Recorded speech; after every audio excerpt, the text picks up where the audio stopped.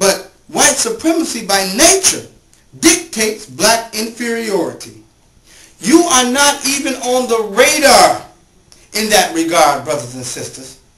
Whether they have accepted you as equal is not the question that they're answering in voting when they vote for Barack Obama. That is not what they're answering. It's only you imposing what your what imposing your wish on them. What they are, what America is asking itself, brothers and sisters, is what is the best face that we can put on white supremacy to in, uh, project it into the next 100 years. Will a black face do it? Will a woman do it? Will a 77-year-old man do it? And each of them have to pay homage to white supremacy before they can even get in the running.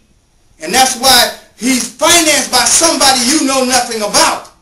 So his face, the color of his skin, brothers and sisters, is only incidental to the question being asked. What is the face of white supremacy that we're going to have to put on to project it to the around the world for the next hundred years? That's the only question that they're asking. And brothers and sisters, they know that you and I have been made to be stupid. They planned it that way.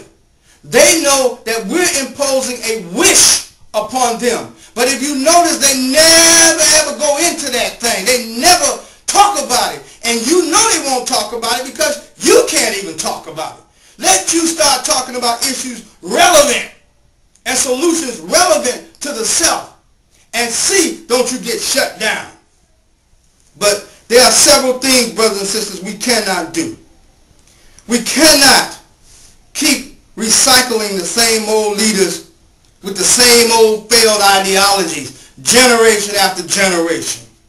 We cannot continue, brothers and sisters, to place our life or death issues on the back burner, hoping for a great, a great white, or in this case, a great black face will come along and save us.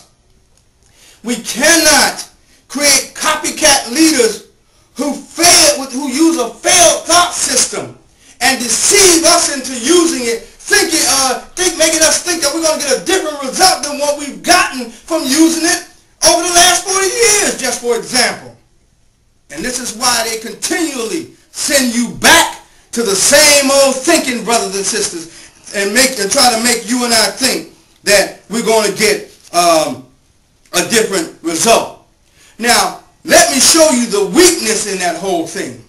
While they're all sitting there having first black gasms, that's when that's what we experience when we get the first black this or the first black that. We call it a first black gasm because it's a good feeling that we have.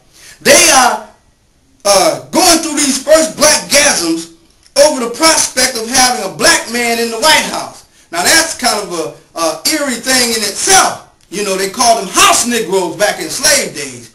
But the prospect of having the first black uh, man in the White House, even slip there, there's an 800-pound gorilla sitting in the room.